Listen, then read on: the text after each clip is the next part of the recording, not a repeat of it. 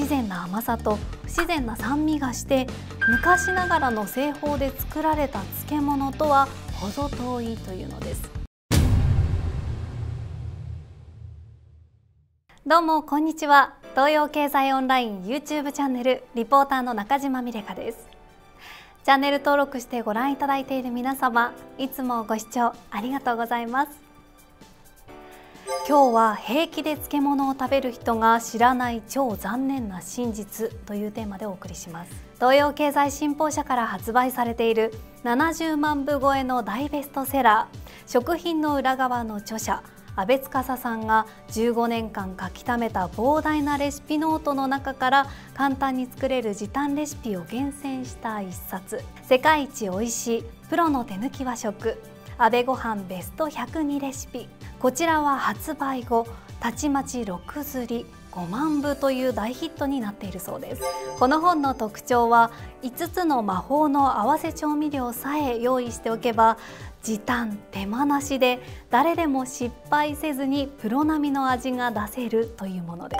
す。さて私たち日本人の食生活に欠かせない漬物。今回はこの漬物をめぐる残念な真実に迫ります。市販のお弁当に添えられた大根漬けや真っ黄色に染められたたくあん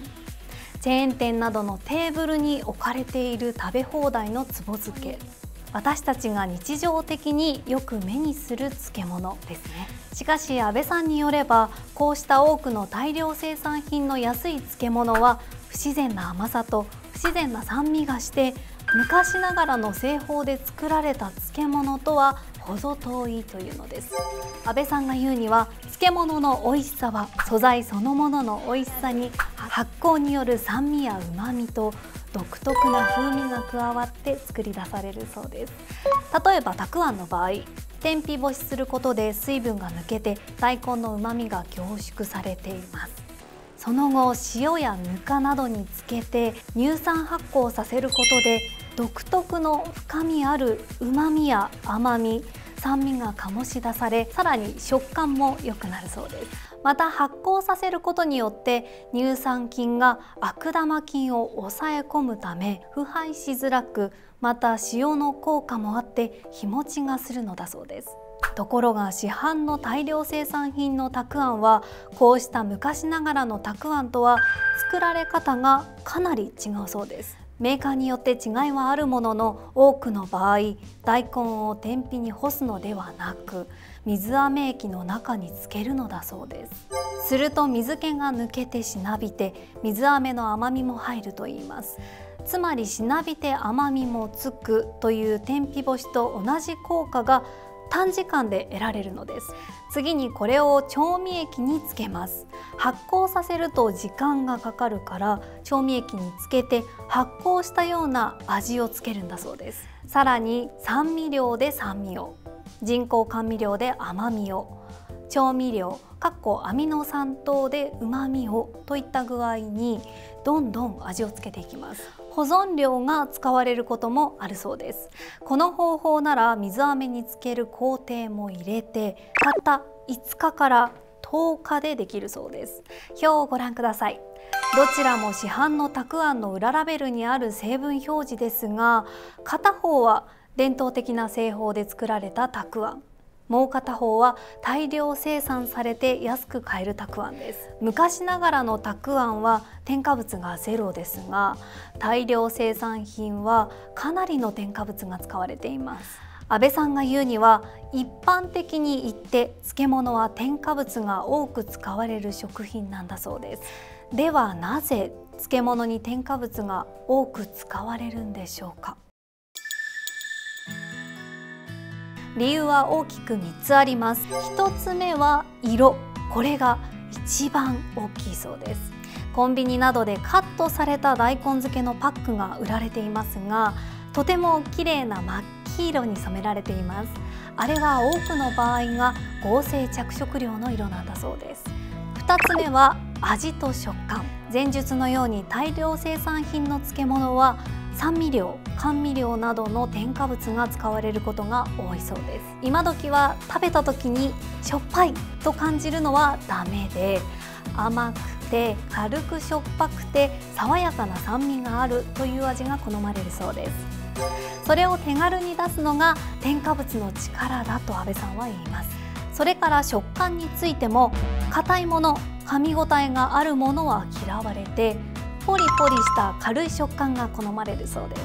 昔ながらの干して硬くなったたくあんなどは敬遠されがちで添加物の入った調味液につけて作る浅漬け風の商品が好まれるそうです。そして3つ目は保存性。先ほど説明した通り発酵をさせないことで保存量や酸味料などの添加物を使って保存性を高めることが多くなる。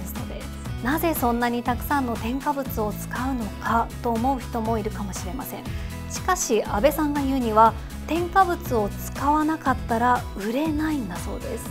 昔ながらの製法で作った色がくすんでしなびたたくあんより真っ黄色に染めた綺麗なたくあんの方がよく売れる。そこに消費者ニーズがあるというのです。いつから日本人はそういう不自然な綺麗さを求めるようになってしまったのかと安倍さんは嘆きます。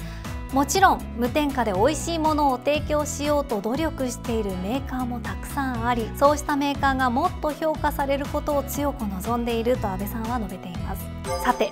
漬物は作るのが面倒と思う人が多いかもしれませんが実は漬物は自宅でも簡単にできるんだそうです。例えば白菜の一夜漬けはこのように作ればいいそうです。白菜を3%の塩を加えて揉んで冷蔵庫に一晩置く。まだ生っぽくってサラダっぽかったらもう一晩寝かせる。しんなりしたら水気を絞って。あとはちょっとひと塩足すか。安倍ご飯の魔法の調味料の一つ。甘酢を少し加えて出来上がり。また難しそうなぬか漬けも自宅で簡単に作れるといいます。最近はぬか漬けの素が売られているのでこれを使えばとても手軽にぬか漬けができるそうです。実際コロナ禍のステイホームの影響でぬか漬けの素がよく売れているといいます。安倍ご飯でも魔法の調味料さえ用意しておけば簡単に作れる即席ハリハリ漬けや紅白ゆず大根などを紹介しています。こちらも参考にしてみてください。漬物は日本の大事な食文化です。美味しい漬物があることで食事のアクセントとなってご飯をより美味しくいただくことができます。私も手軽にできる一夜漬けなどに挑戦してみたいと思います。ということで平気で漬物を食べる人が知らない超残念な真実についてお送りしました。東洋経済新報社から発売されている世界一美味しいプロの手抜き和食安倍ごはんベスト102レシピではたった5つの調味料さえ作れば美味しい和食が時短で自由自在に作れるという時短レシピを厳選して紹介しています。興味を持たれた方は概要欄のリンクからぜひチェックしてみてください。